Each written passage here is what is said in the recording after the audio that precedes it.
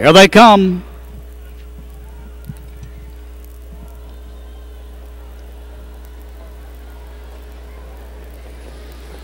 They're off and trotting, and on the inside it'll be Lord Stormont who will lead toward the turn. Malabar Man and Burroughs on the outside now about to duck in behind the leader as a leisurely race toward the quarter mile mark. And Lord Stormont and Doug Brown will dictate the fractions and control the pace of this one. Malabar Man and Burroughs will be content to wait until some point that only Malvern knows as they head now toward the quarter mile mark. Lord Stormont, the crowning point world champion three year old gelding by just a length. Malabar Man has a big hold of Burroughs and he's wanting action as they race to the quarter mile mark and they're past that marker in 32 and 3 fifths. And Malabar Man was wanting to, go, to roll on so much that he put in a bad step just past the quarter as Burroughs has a big hold of him and Malabar Man not accustomed to this kind of pace is second to Lord Stormont as Lord Stormont leads him down the backstretch through the second quarter off the 32 and 3 front panel. He's approaching the half mile mark right now. And the gelding, the world champion gelding, Lord Stormont, by just a length. And now the pace has quickened, and Malabar Man Eased apparently to the outside, but ducked back in as they are flowing quickly now past the half mile mark. That mark at 105 and 2. They're in the upper turn.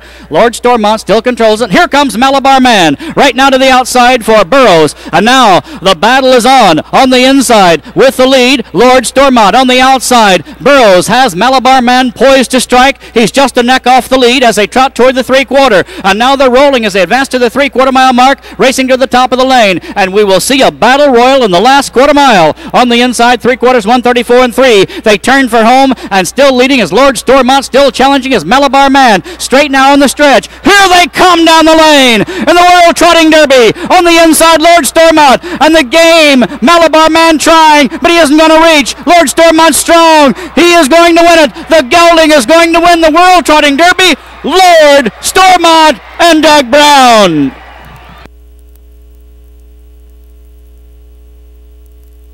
And look at the last half, ladies and gentlemen. Look at the last half, 55 seconds. And look at the last quarter, 26 and 1. That's the kind of trotters they are. 55 last half, a 26 and 1 last quarter. Two champions.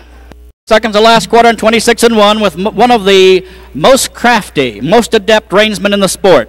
The Canadian star, not familiar to the Midwest, but certainly better known now.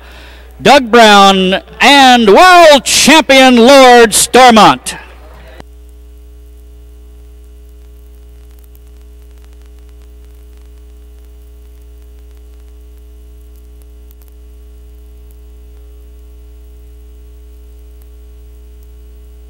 And that was a last quarter, not in 26, but in 25 and 4. Look at the board. It is 34 and 3, home in 2 minutes 2 fifths, 25 and 4, and that's got to be a record for any race off.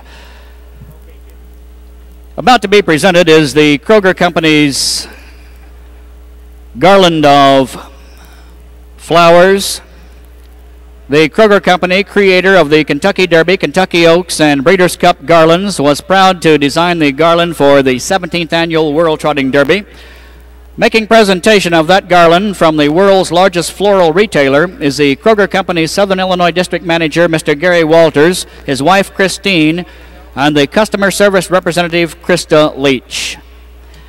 And Governor Jim Edgar and his wife Brenda are in Victory Lane, where we will welcome them again in 1998 in a farewell to the DuQuoin State Fair as governor, as Governor Edgar has announced his plans to retire.